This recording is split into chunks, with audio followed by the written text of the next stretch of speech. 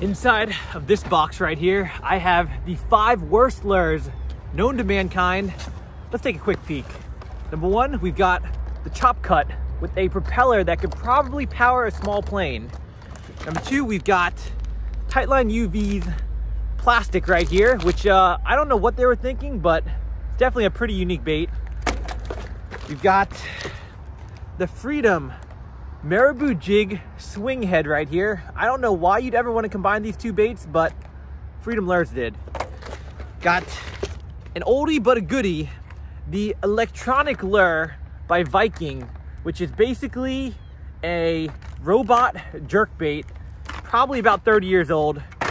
And the piece de resistance, we have this crankbait right here. I'm not gonna say what exactly it is, but uh, if you look, I think you get the clue. Here's what's going down. We are at a small pond right here. And for this challenge, Jon B bought me five of the worst fishing lures he could find on the internet. I bought him five of the worst ones that I could find. And we're gonna see who can catch one fish on every bait first. So to get started, it's early morning. We've got to start with the chop cut, the only top water. If we're gonna get something on this, now's the time to do it. What an interesting looking big fish bait. Oh my gosh. I don't know how I'm gonna set the hook with the propeller this freaking big, but we're gonna do our best, guys.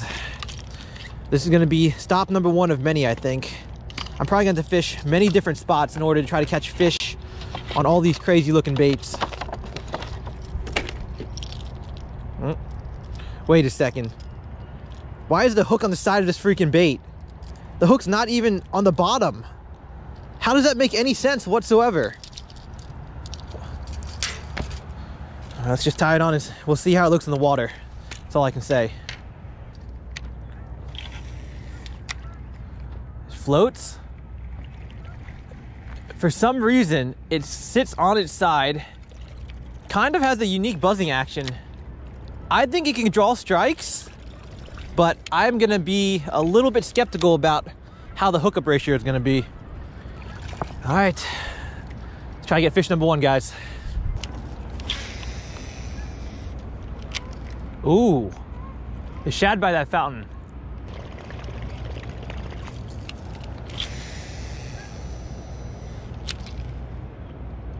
Oh, something just freaking popped it.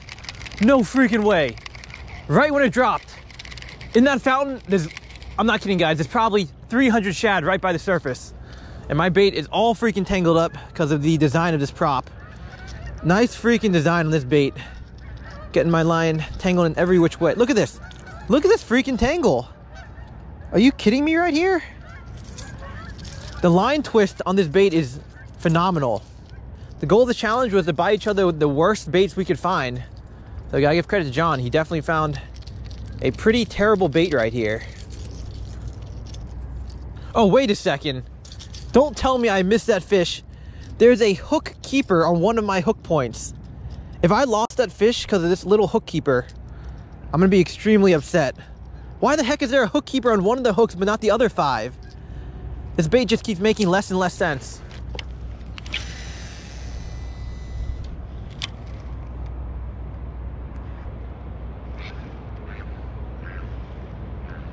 There's one. Oh my. I. I told you guys, this bait is not gonna be able to hook anything. That's two bites from that fountain right there. It's full of shad. I know there's bass hanging right under it. This bait drew two strikes so far, got tangled both times, did not hook anything. Complete garbage bait right here. Truly deserving of the title worst lure. Wait a second. Look at these rocks. This pond right now is about three feet below normal. I mean, this is usually completely covered. Look, this is what these fish are eating. Hold on, let me show you guys this. Right there. Ah, that guy right there. Three inch gizzard shad, I believe. This is what all the, oh, it smells disgusting. That's what all the fish are eating. Ah, nice duck poop crap pond right here. It's off my hands. All right, that should be pretty clean. Zero fish landed on this bait right here. Been fishing for over two hours, went three entire loops around the pond. This is truly one of the worst lures imaginable. To be fair, the action actually isn't that bad. You can fish it with a stop and go retrieve. You can fish it as a straight steady retrieve. It does have some pretty good propeller sputtering spinning action.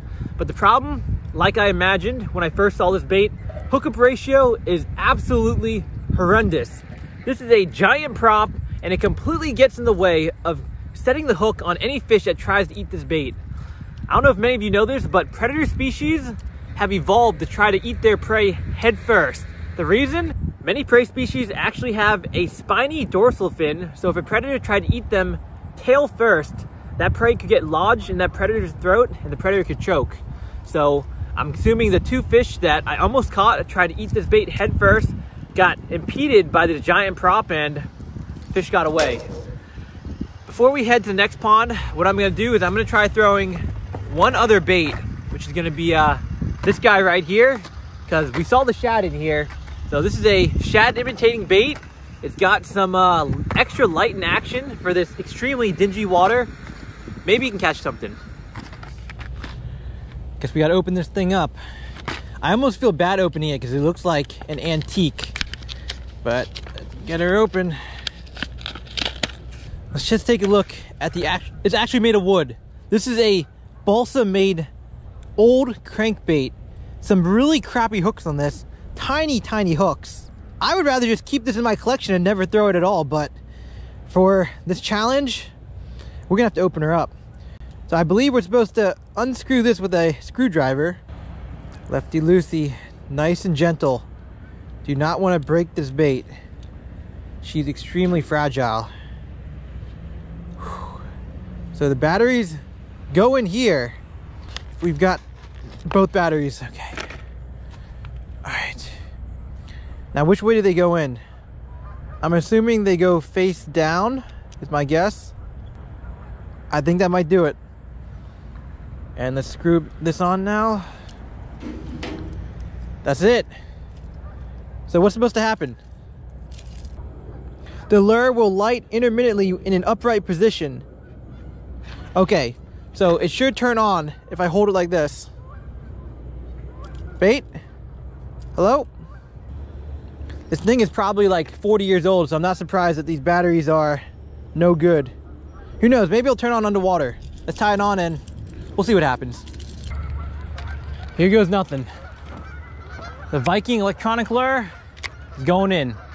It seems to be a floating jerk bait. All right, so this is a floating jerk bait, which again is uh, not really ideal because we just fished topwater and didn't catch jack crap.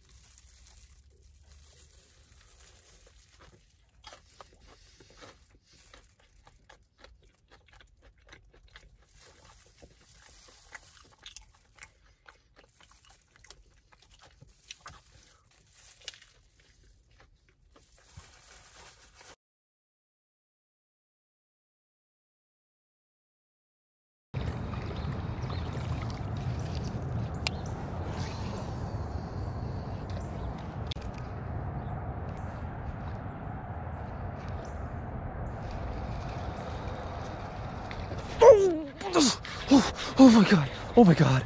Oh my god. Oh my god. Please land this fish. Please land this fish. Please land this fish. Please, please, please, please. It's a big one. Oh my god, it's huge. Oh. And the boom! Holy shit.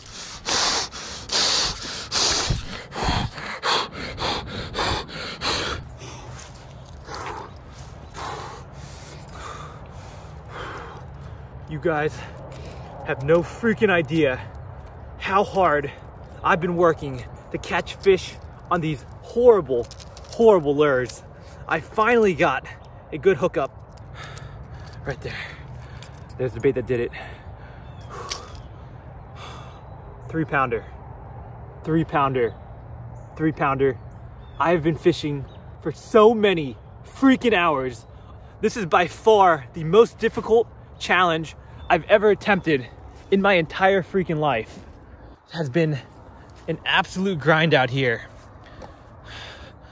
Finally got fish number one on the boat. Thank you so much, girl. Thank you. Oh my gosh.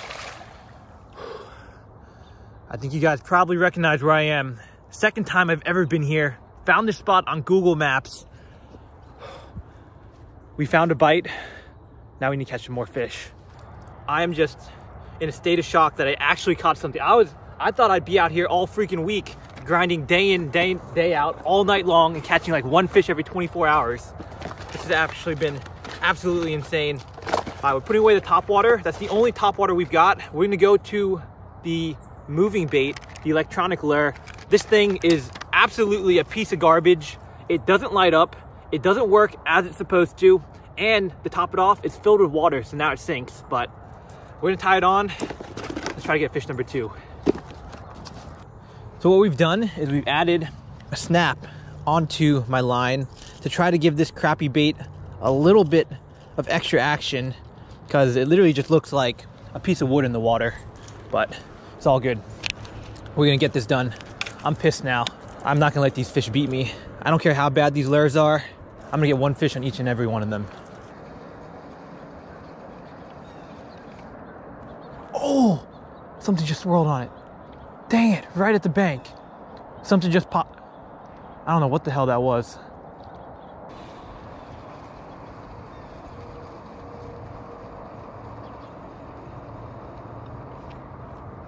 Oh, oh, oh, oh, yes! Let's freaking go. I was pulling the bait out of the water. This little dink came up and ate the electronic lure. Barely got him on one of the worst treble hooks I've ever seen in my life. This bait, Jon, you let me know, but I'm guessing this bait is probably 40 to 50 years old. Look at that. Look at the design on it. That's, that's straight out of the 60s right there. That's two down, baby. We're finally catching some fish. Things are going well. Before we switch baits, I've got to say this is one of the worst hard baits I've ever seen, period. Before I added the snap, it had literally zero action, and even with the snap, it looks very, very funky underwater, has some weird side to side rolling action. A bunch of water invaded the cavity of the bait. All in all, just a terribly designed, poorly executed bait. Would not recommend. Electronic lure, complete. Up next, you know, we just caught a three pounder.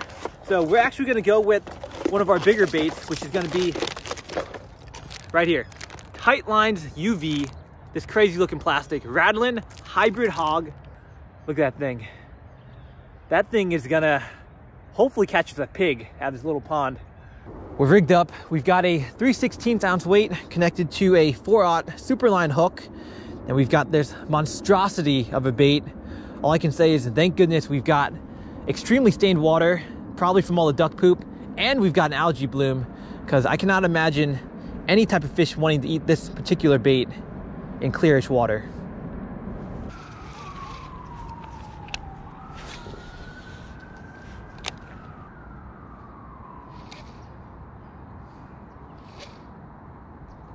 Oh, doesn't bite. Oh, shit. Dang it, dude. Dang it. That was, ah, you're swimming with it. Ah, the hook's exposed. It must have been a small fish. What I just did, I wasn't getting any bites, so I smelled the bait. It smelled like poison. I loaded it up with attractant on the body. I put a crawfish scent, then on the tail, dipped in JJ's Magic. Two casts in, got a hit. See if we can get another. Oh yeah, smells like a garlic pizza right now.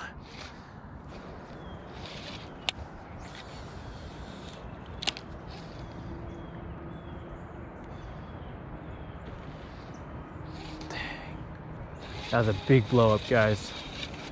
That was a huge blow up. I'm gonna hunt that fish. I got a visual on him.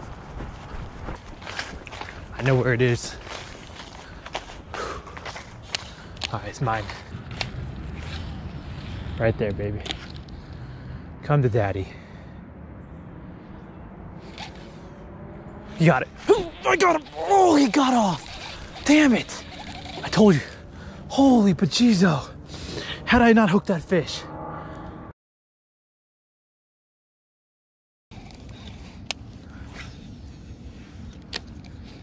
As you guys can probably tell, we are at a new pond here, and it's looking uh, kind of overgrown at this end of the pond at least.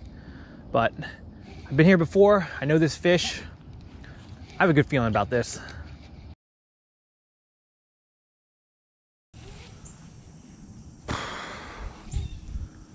Unfreaking believable.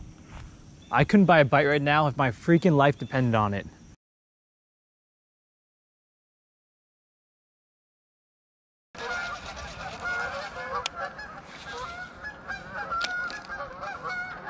Oh, let's bite, bite, bite. yes! Get in the boat! Come on! Finally!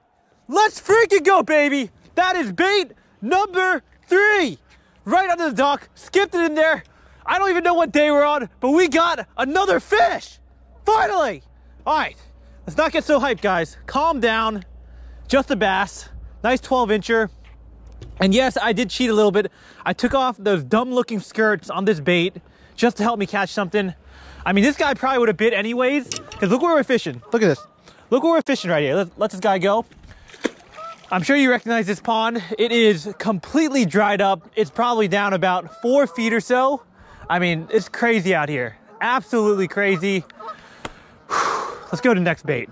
So real quick, here's the underwater view of this hybrid style brush hog slash beaver bait. I mean, without the skirt, it doesn't look that bad.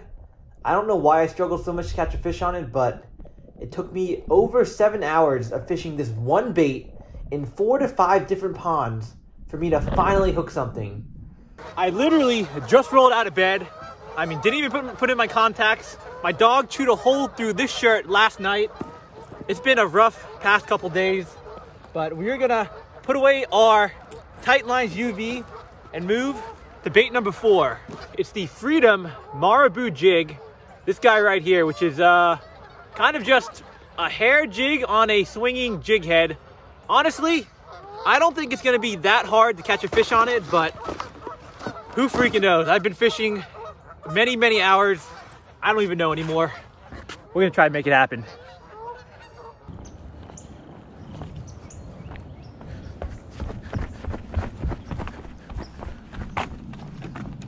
You never know, guys. You just never freaking know what's down there. Oh, it's a good attempt.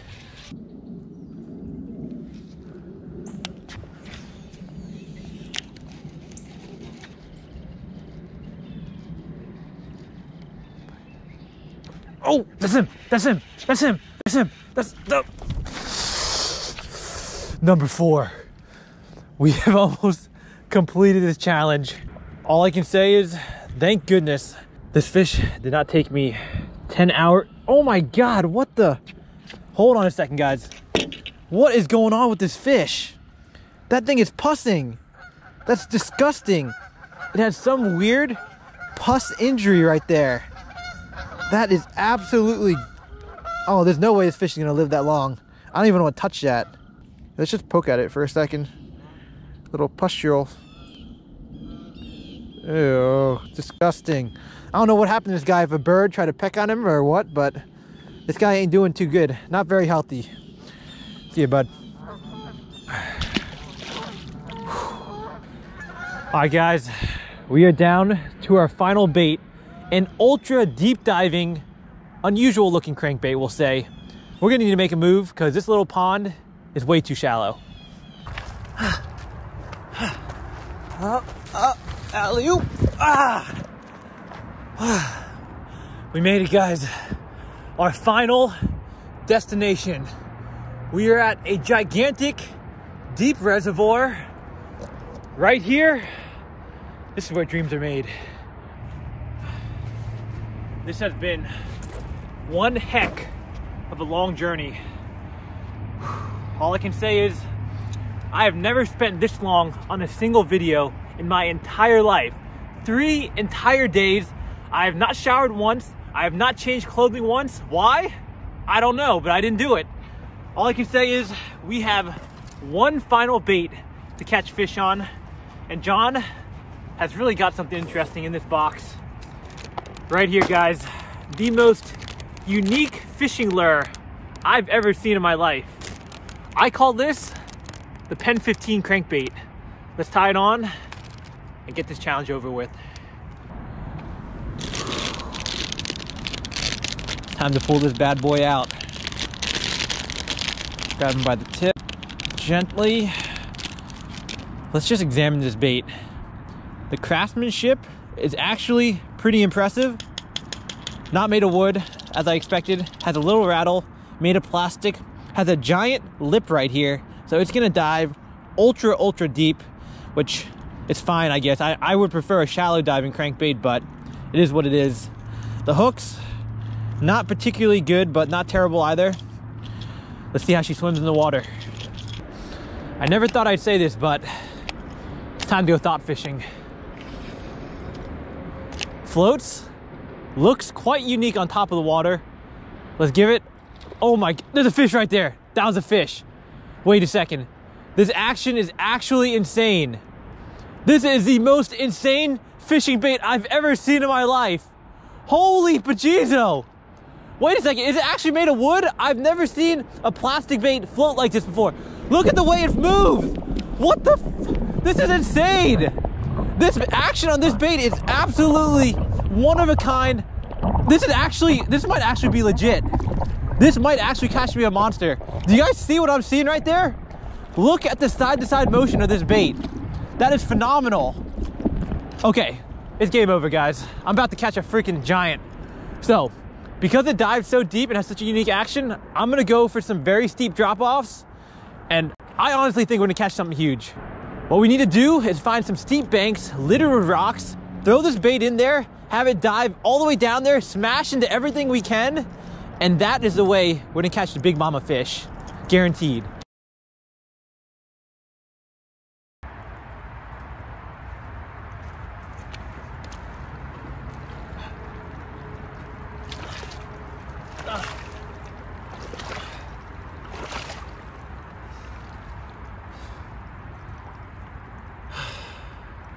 Defeated yet again. Ah! Oh! Ah! Ah! I'm not gonna get any further. I'm done. Defeated once again by the worst lure fishing challenge. Just like last time, I caught fish on every bait except for one. And uh, to be honest, the bait, this bait right here had some pretty dang good action. I was overall very impressed with it. All I can say is I will definitely fish with this bait in the future and catch some monsters on it. But for now, big thanks to my boy Jon B, who actually came up with the idea to do the worst lure fishing challenge. So, what I want you guys to do, click the link down below, go over to his channel, watch his video of the five baits I sent to him. I have no idea what he caught. He might have caught in five fish, zero fish, a hundred fish. Watch his video, come back here, and comment down below who you think the winner is. And that's gonna about do it for now. Ah, okay. Thank you guys so much for watching and stay tuned for some more epic challenges in the future.